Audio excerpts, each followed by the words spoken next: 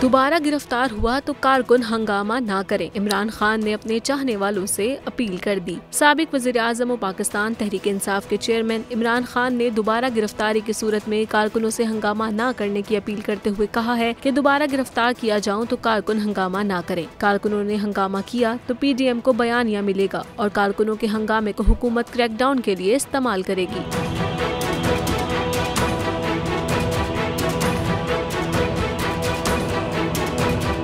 इमरान खान का कहना था कि तमाम सर्वे बता रहे हैं कि पीटीआई दो तिहाई अक्सरियत से जीतेगी। कामयाबी की पेशगोइयाँ देखकर हुकूमत पीटीआई को क्रश करना चाहती है।